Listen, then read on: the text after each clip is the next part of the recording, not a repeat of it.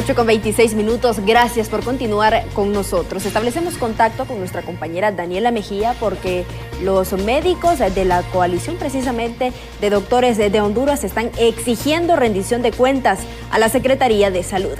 Adelante, Daniela, buen día.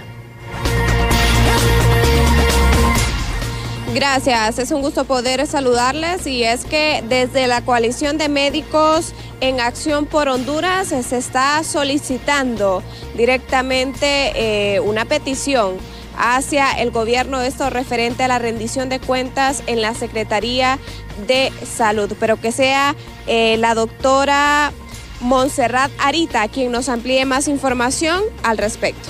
Bueno, como Coalición de Médicos en Acción de Honduras nos preocupa el tema de la ejecución presupuestaria y estamos solicitando un informe de rendición de cuentas a la Secretaría de Salud porque hay muchas declaraciones que ha dado el doctor José Manuel Matiu, ex secretario de Estado en el despacho de salud hasta, hace unos pocos días, en los que decía inclusive que el presupuesto en salud se quería utilizar para comprar equipo biomédico al gobierno de China, sobrevalorado al igual que los hospitales móviles.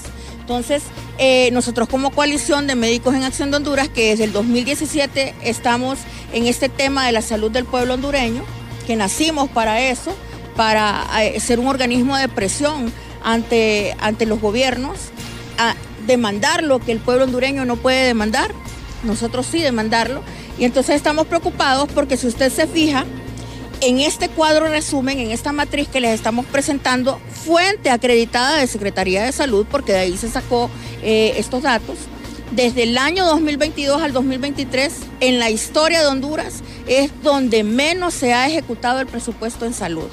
Y dicho sea de paso, hay más de eh, 13.843.1, 19.843.1 un millones de lempiras que durante el año 2022 y 2023 no fueron ejecutados. Estamos hablando casi de 20 mil millones de lempiras. Y hemos visto, por ejemplo, desde el año 2022, el Instituto Cardiopulmonar, eh, el Instituto Nacional Cardiopulmonar, mal llamado Tórax, que no tenía incluso alimentos para sus pacientes. Hemos visto desabastecimiento de medicamentos en los centros asistenciales públicos de nuestro país. Hemos visto falta de recurso humano.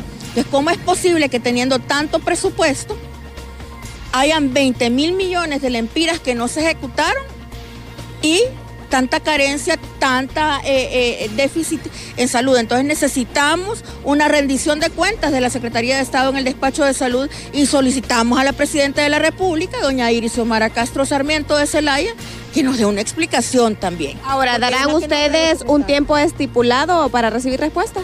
Definitivamente esta respuesta tiene que ser inmediata. No podemos dar un tiempo estipulado porque ellos, tanto la Secretaría de Finanzas como la Secretaría de Salud, llevan su propio proceso de, rendición de cuentas, imaginamos, y sus propios controles. Entonces no nos pueden decir, esperen unos tres meses a que les rindamos cuentas. Eso tiene que ser expedito. Es más, cada secretario de Estado en los despachos, en los diferentes despachos que hay en el país, debería de rendir cuentas en el momento en que cesa de su cargo. De no ser así, ¿cuál será la postura de ustedes? Bueno, nosotros eh, siempre lo hemos dicho, en el tema de esto, de dónde están los 20 mil millones de lempiras de presupuesto que no se ejecutaron en salud, no vamos a dar tiempo de espera.